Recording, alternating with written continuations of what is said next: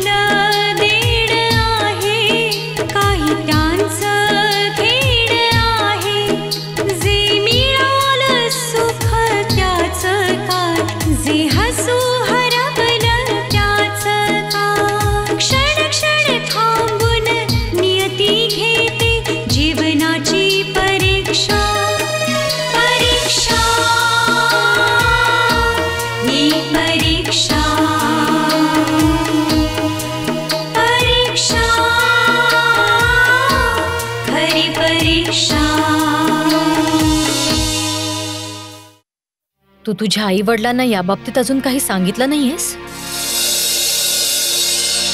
सीमा? कसं सांगणार आंटी? माझे मम्मी पापा तर? तुला एक खूप मोठा सरप्राईज देणार आहे. कोणतं सरप्राईज त्या सरप्राईज साठी तुम्हाला वाट पाहावी लागेल. आज असं वाटतंय की सर्व काही माझ्या पायाशी आलंय माझ्या स्वप्नांचं जग माझी वाट पाहते ओह येस आणि हे जे फायनल ऑडिशन आहे ना ते माझ्या आयुष्याचा टर्निंग पॉइंट असेल. बस एक वेळ एक वेळ मी याला पार करेन ना तर मी माझं ध्येय नक्की गाठेन. हे काय? ऑटोग्राफ प्लीज़ माहित नाही उद्या एवढ्या गर्दीमध्ये. तुला मला ऑटोग्राफ द्यायला वेळ मिळेल का नाही?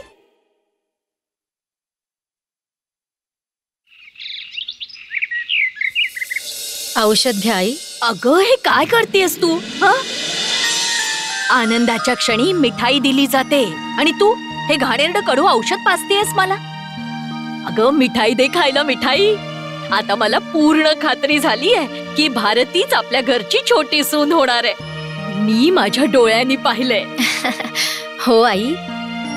माझ्या डोळ्यांनी पण पहिल्या दिवसापासूनच भारतीला या घरात सुनेच्या रूपाने पाहिलं होतं. ही चांगली गोष्ट आहे की तुम्हाला पण खात्री पटली. ओजी आता खात्री झालीच आहे तर टेक ऍक्शन नाही तर आजी तुम्ही जे आदर्शला सरप्राईज देणार आहात ना त्याच्यात पापाजी आपल्या सरप्राईजचा बॉम्ब फोडतील. ते ना गुप्ताजींच्या मुलीबरोबर आदर्शचा साखरपुडा करणार आहेत. काय? पप्पा पुन्हा एकदा त्या गुप्तांची मुलगी पिंकीशी आदर्शचा साखरपुडा करणार आहेत पण असं कसं होऊ शकतं? अगं असं अगं चुप गुड्डी चुप! चुकून तुझ्या पप्पांनी ऐकलं ना? आणि त्यांना समजलं ना? की तुम्हा सर्वांना आदर्शच्या साखरपुड्याची बातमी समजली म्हणून? तर माहित नाही रागात ते माझ्याशी कसे वागतील. ओहो मम्मीजी तुम्ही इतकं का घाबरता? हा आदर्श आणि भारती यांच्या दोघांचा आयुष्याचा प्रश्न आहे. आणि आपण असं गप्प तर राहू शकत नाही ना?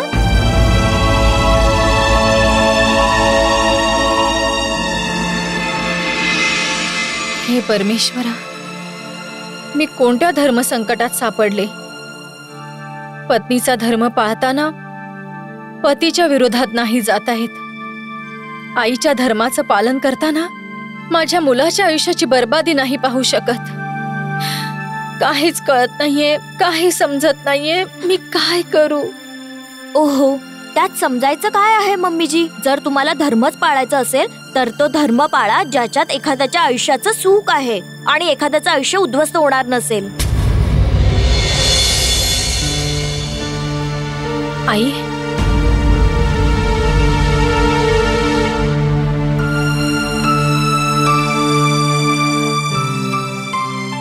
ओहो मम्मीजी एवढा काय विचार करत आहात तुम्ही? तुम्ही तर धीट व्हा धीट. आणि मनातल्या भीतीला गेट आउट करा. अगदी माझ्यासारखं. आई मला तर काही समजत नाहीये. माझी हिंमतच होत नाहीये. तुम्हीच काहीतरी करा ना. हा साखरपुडा कसा थांबवायचा? हो आजी. आता तुम्हीच काहीतरी करू शकता. काहीतरी विचार करा ना. हो आजी. तूच काहीतरी डोकं चालव ना.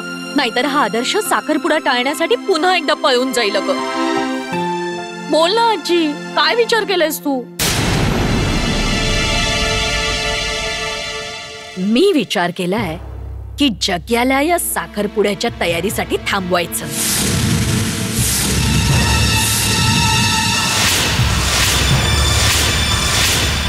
अगं, बाप आहे तो आदर्शचा.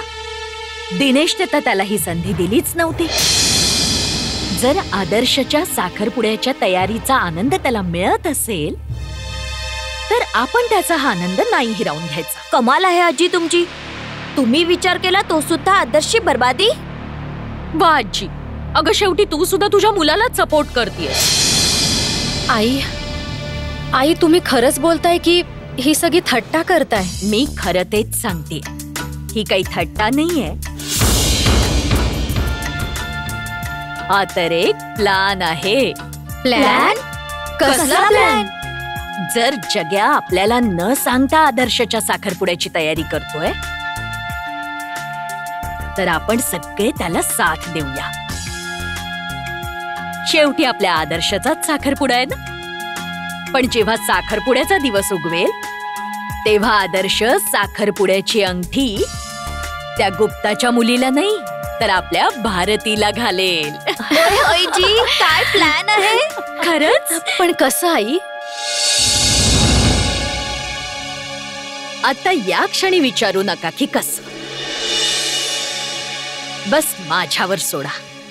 आणि हो आदर्श आणि भारतीच्या साखरपुड्याच्या तयारीला लागा. पण एक गोष्ट लक्षात ठेवा. ही गोष्ट फक्त आपल्यामध्येच राहायला हवी हा? आदर्श आणि त्याच्या बापाला जराही कळता कामा नये. आता करू दे जग्याला जोरात तयारी. कारण हा साखरपुडा आदर्श आणि भारतीला आपल्याकडून एक सरप्राईज असेल ओ भाजी वा. वा आई पण एक गोष्ट लक्षात ठेवा हा. की ही गोष्ट फक्त आपल्यातच राहायला पाहिजे. आदर्श आणि त्याच्या बापाला जराही कळता कामा नये. आता करू दे जग्याला तयारी अगदी मनापासून. अहो गुप्ताजी आम्ही तर साखरपुड्याची सगळी तयारी सुरू केली आहे. बस तुम्ही पण तयारी सुरू करा. आता तर साखरपुड्याच्या दिवसाचीच वाट पाहतोय. इतक्या लवकर इतका विचार करण्याची गरज नाही जगमोहनराव. साखरपुडा होण्यापूर्वी तुम्हाला माझी एक अट पूर्ण करावी लागेल. काय म्हणालात? साखरपुडा होण्यापूर्वी तुमची एक अट आहे? हम्म. सांगा. एक बाप होण्याच्या नात्याने मला हे जाणून घेणं आवश्यक वाटतं की तुमचा मुलगा आदर्श साखरपुड्याने खुश तर आहे ना? म्हणून जोपर्यंत मी आदर्शच्या तोंडून हे ऐकत नाही की तो स्वतः या साखरपुड्याला आपल्या मर्जीने तयार आहे तोपर्यंत मी या साखरपुड्याच्या बाबतीत पुढचा विचार करणार नाही.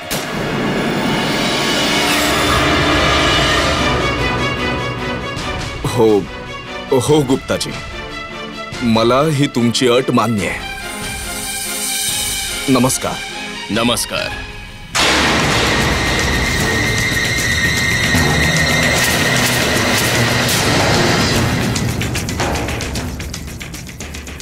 गुप्ताने ही अट कशी काय टाकली? की जोपर्यंत तो आदर्शा तोंडून ऐकत नाही की तो या साखरपुड्याला तयार आहे तोपर्यंत गुप्ता साखरपुड्याचा विचार करणार पण नाही आता त्याची अट कशी पूर्ण करू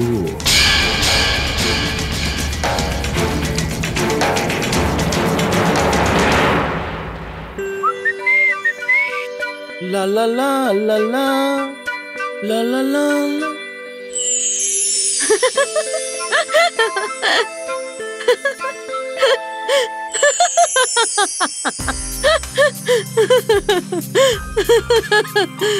इतकं हसू का येतंय तुला? कधीपासून पाहतेय मी? तू आरशा समोर उभं राहून स्वतःला पाहतोयस. ओ मिस्टर जास्त वेळ आरशा समोर उभं राहू नकोस. चेहरा काही बदलत नाहीये तो तसाच राहतो. I know but you don't know की प्रत्येक वेळी ऑडिशनच्या अगोदर ना एक लुक टेस्ट द्यावी लागते. तर मी माझी लुक टेस्ट स्वतःच घेत होतो. तसं माझा हा लुक कसा दिसतोय? नॉट बॅड म्हणजे जास्त चांगला नाहीये? मला तर व्हेरी गुडच ऐकायचंय. एक काम करतो दुसरा ड्रेस ट्राय करतो. किती मेहनत घेतोस तू आपल्या ऑडिशन साठी? हो भारती मेहनत तर घ्यावीच लागेल ना? त्याचं काय की जोपर्यंत मी हे ऑडिशन देत नाही ना तोपर्यंत माझ्या मनाला चैन नाही वाटणार. चैन? हम्म, मला चैन वरनं आठवलं. मी तुला माझी चैन आणि अंगठी विकायला दिली होती. आठवत आहे ना विकायला दिली होती. ती तू विकलीस की नाही.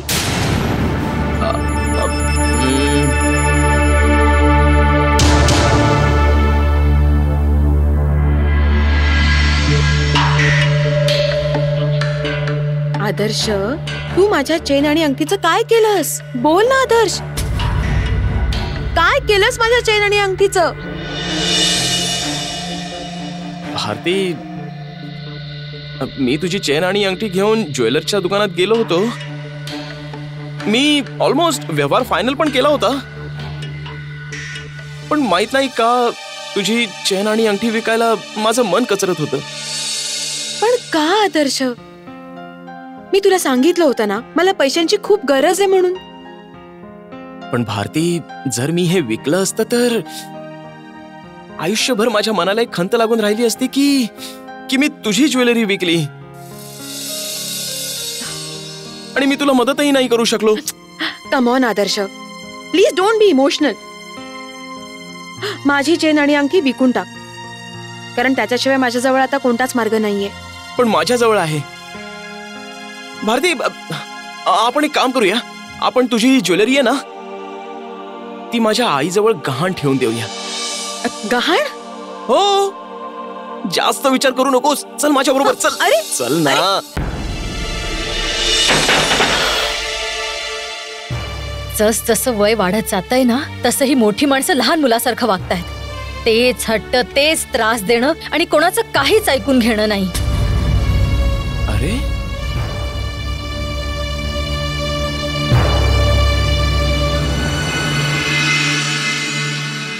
आई तू इथे अशी एकटी उभी हे डोळ्यात अश्रू आणून काय बडबडतेस?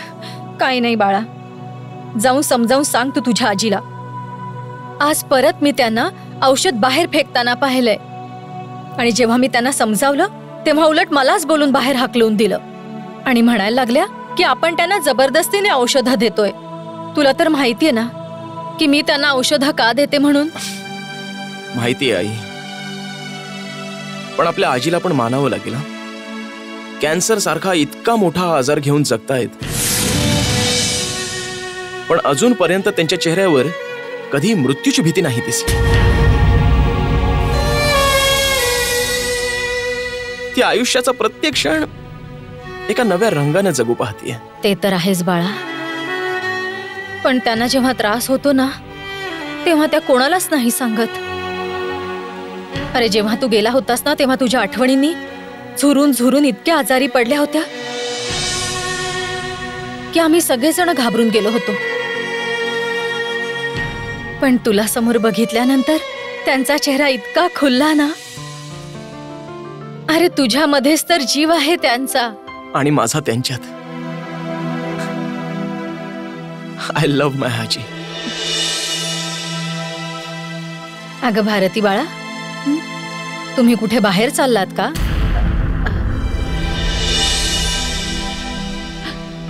नाही आंटी.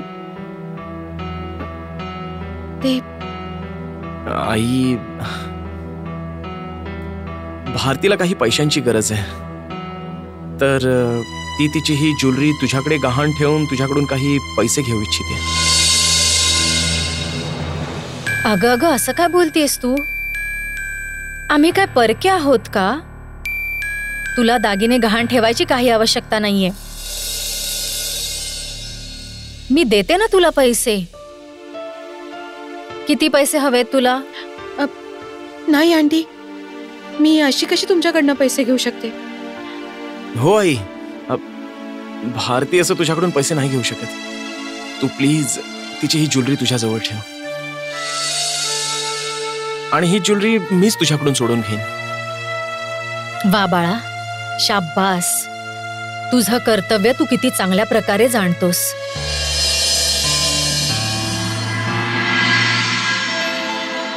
भारती बाळा माझ्या रूम मध्ये येऊन पैसे घेऊन जा.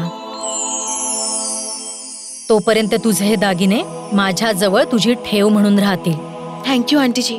ठीक आहे बाळा. थँक्यू सो मच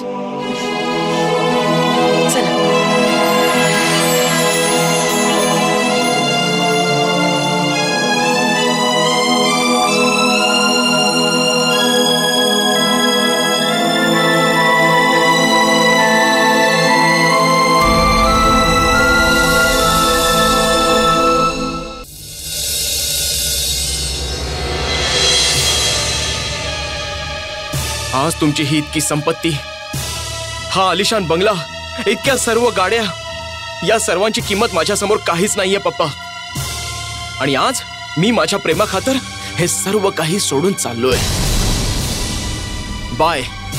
आदर्श?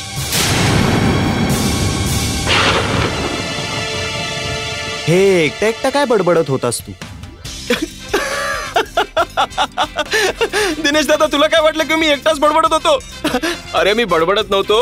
ही तर मी ऑडिशनची तयारी करत होतो. ओ. माहितीये दिनेश दादा आज मला नाही का मोठ्या प्रोडक्शन हाऊस मध्ये एका मोठ्या फिल्मसाठी टॉप फाय मध्ये सिलेक्ट केलेलं काय आहे म्हणतोस? हो. अरे वा. ही तर मोठ्या आनंदाची गोष्ट आहे. अरे मोठ्या आनंदाची गोष्ट आहे. बस एक फायनल ऑडिशन एकदा का हे मी क्लिअर केलं ना दिनेश दादा? मग मी एका खूप मोठ्या प्रोडक्शन हाऊसमध्ये एका मोठ्या फिल्मचा सुपरस्टार हिरो होईन. मी पण याच दिवसाची वाट बघतोय. पप्पांमुळे कधी मला माझं क्रिकेटर व्हायचं स्वप्न नाही पूर्ण करता आलं. असो परमेश्वर तुझी सर्व स्वप्न पूर्ण करो. माहितीये दिनेश दादा. तुला लहानपणापासूनच क्रिकेटर व्हायचं होतं. पण या गब्बर सिंगच्या भीतीमुळे तू तुझ्या स्वप्नांपासून दूर राहिलास.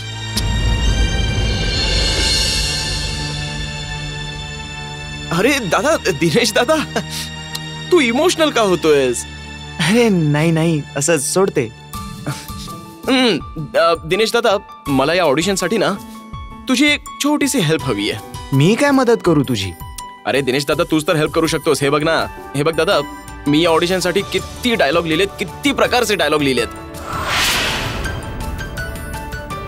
पण याच्यात काही मजा नाही वाटत रे. काहीतरी नवीन पाहिजे मला. तू एक काम कर तू मला तुझ्या फ्रेश माइंड मधून ना काहीतरी नवीन लिहून दे ना. मी? हो. हे तू काय बोलतोयस? मला नाहीये ते डायलॉग बिलॉग लिहिता. या सगळ्या गोष्टींपासून मी फारच लांब आहे. दिनेश दादा तू ना माझ्याशी खोटं बोलू नकोस. पम्मी वहिनीने मला सर्व काही सांगितलंय. तू अगोदर कसं वहिनींना रोमॅन्टिक रोमॅन्टिक मेसेज पाठवत होतास? अगदी फिल्मी स्टाईल मध्ये? मी मम्मी पण ना अरे ते तर असंच त्यावेळी डोक्यात यायचं ते. अच्छा? त्यांनी तर मला हे पण सांगितलं की तू तुझ्या सासऱ्यांना तुझ्या डायलॉग बाजीनेच इम्प्रेस केलं होतं. अरे हे तुझी बडबड बंद कर आता. आणि चुपचाप तुझी रिहर्सल कर. जर पापांना हे कळलं ना की तू तुझ्या कामामध्ये मला पण जोडीला घेतलंयस तर तुझं काही खरं नाही. आय डोंट केअर चल तू तुझ्या ऑडिशनची तयारी कर मी निघतो. ऑल द बेस्ट दादा हे all the best all the best करून नाही चालणार हा. तू ना मला प्लीज पहिला एक डायलॉग लिहून दे हा. अरे नाही रे मला डायलॉग वगैरे नाही लिहिता येणार. चल बाय गुड नाईट अरे दादा दादा दिनेश दादा अरे दिनेश दादा ऐक तर अरे दिनेश दादा ऐक ना. दिनेश बेटा तुला लिहिता येत नाही.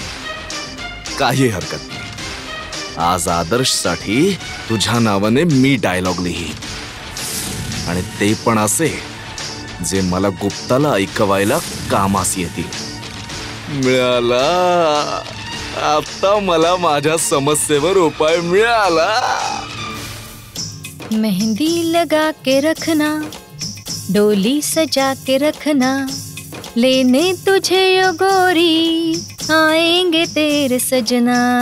अग आला तुझा सजना। काय मस्त गातेस गीता बरीच खुश दिसतेस हम्म खुश तर असणारच ना? माझ्या आदर्शाचा साखरपुडा होणार आहे. मग आनंद तर होणारच. का? तुम्ही खुश नाहीये का? अगं मी तर फार खुश आहे फार खुश आहे. म्हणूनच तर ही सगळी तयारी करतोय हं? साखरपुडा होईल तेव्हा मोठी डील साईन होईल. मोठी डील साईन होईल तेव्हा मोठं कॉन्ट्रॅक्ट मिळेल. आणि लाखोंचा फायदा होईल. मी खूप खुश आहे गीता. फार खुश आहे. जरा. तू पण अशीच खुश राहत जा. पाहून बरं वाटतं. हं? खुश राहा.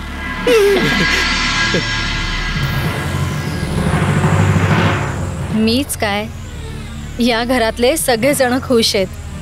माझा आदर्श आणि भारती यांच्या साखरपुड्यासाठी. आदर्श बेटा मी लिहितोय तुझे डायलॉग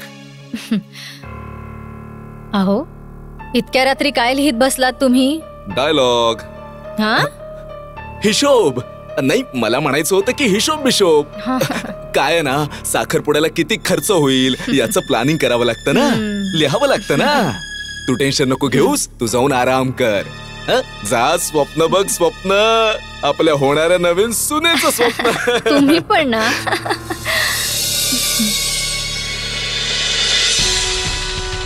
हा गुप्ता तर स्वतःला खूपच मोठा शहाणा समजतोय. त्याला माहीत नाहीये. तो हुशारीच्या ज्या स्कूलमध्ये शिकतोय त्या स्कूलचा मी हेडमास्तर होऊन गेलोय.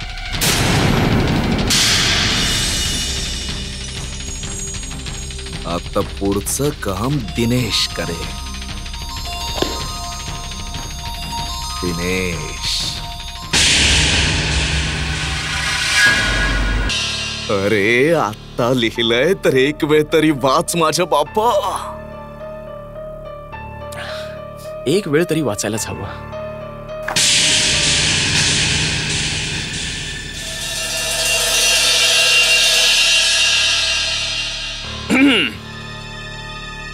अंकलजी मी तुमच्या मुलीबरोबर होणाऱ्या माझ्या नात्याने फार खुश आहे. अहो, हे तर माझं भाग्य आहे की तुमची मुलगी माझी पत्नी होणार आहे. तुम्ही जितकं प्रेम, जितकं सुख आपल्या मुलीला दिलं आहे ना, त्यापेक्षा कितीतरी जास्त प्रेम आणि खुश मी तिला ठेवेन. म्हणून तुम्ही निश्चिंत राहून तुमच्या मुलीचा हात माझ्या हातात द्या. क्या बात आहे दादा? चांगली स्क्रिप्ट लिहिली आहे अंकलजी मी तुमच्या मुलीसोबत होणाऱ्या माझ्या नात्याने फार खुश आहे.